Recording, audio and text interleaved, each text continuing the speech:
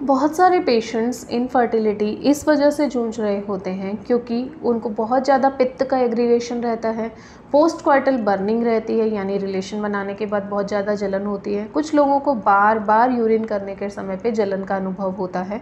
कभी कभी ऐसे स्टमक में बहुत ज़्यादा जलन महसूस होती है, मुँह में छाले आते हैं, ऐसी समस्याएँ भी इनफर्टिलिटी क्रिएट करने में रीज़न होती हैं।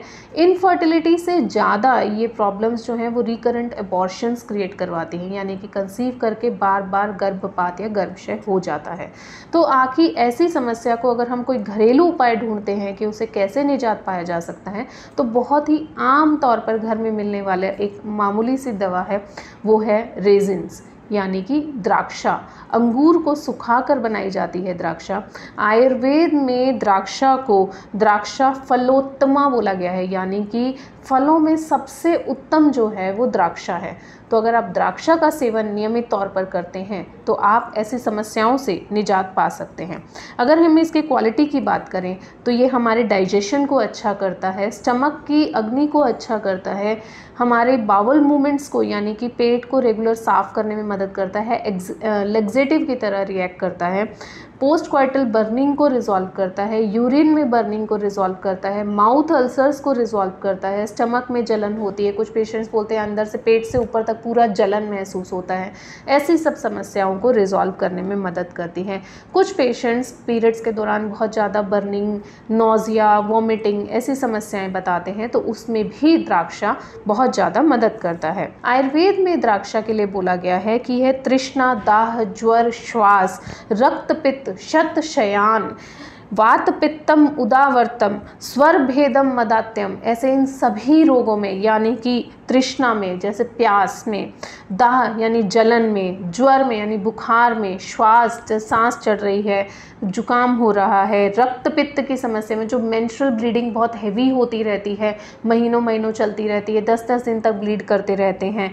बहुत ज़्यादा वीकनेस फील होती है पेशेंट बोलता है दिन में चार बार चक्कर आते हैं, जल वीकनेस बहुत ज़्यादा रहती है। ऐसी सब समस्याओं को रिजॉल्व करने के लिए द्राक्षा बताई गई है, यानी ये इसके गुण जो हैं वो आयुर्वेद में बताए गए हैं। गुण में यह गुरु और स्निग्ध होती है। रस में ये मधुर होती है, विपाक भी इसका मधुर हो रहा होता है। वीर्य ये शीत है तो कुछ लोग बोलते हैं कि बिना भिगोए खाएँगे तो गर्मी करेगी, पर भिगो के खाने से इसकी गुणवत्ता बढ़ जाती है, इसका एक्टिव पोटेंशियल इंक्रीज हो जाता है, इसलिए उसको भिगो कर खाना चाहिए। अदरवाइज़ भी ये वीर्य में शीत ही माना गया है, उष्ण नहीं माना गया है कूलेंट इसका प्रभाव होता है। वात और पित्त दोषा, जो कि हम हर बार बोलते हैं कि इनफर्टिलिटी क्रिएट करने में सबसे बड़े रिस्पॉन्सिबल दोषास हैं दोनों को बैलेंस आउट करता है। लेग्जेटिव है मोस्ट इंपॉर्टेंट ब्लड प्योरीफायर है, जिसकी आज के समय में सबको ज़रूरत होती है। तो इतने सारे गुण आपको एक रेजिन्स में मिल जाते हैं। आप ऐसा मत सोचिए, हम ब्लैक रेजिन्स लेंगे नॉर्मल रेजिन्स लेंगे। आप कोई भी रेजिन्स भिगो कर खाइए, आपको ये गुण उसमें मिल जाएँगे। आप इसका सेवन कर सकते हैं। पुरुष हो या महिला, जिसको भी ऐसी समस्या है इनफर्टिलिटी की समस्या में, खासकर पित्त दोषा का बैलेंस रहना बहुत इंपॉर्टेंट रहता है। तो आप द्राक्षा का सेवन नियमित तौर पर कर सकते हैं। मैं फिर से बताती हूँ 10 से 12 द्राक्षा, दो से तीन घंटे भिगोकर आप खा सकते हैं। ज़रूरी नहीं है कि सिर्फ़ मॉर्निंग में खाली पेट खाना है। आप इसको दिन में भी किसी समय ले सकते हैं। बस इसको अपने मील का पार्ट ना बनाएँ। जब भी लें, ऐसे separately as a dry fruit आप उसको ले सकते हैं। धन्यवाद।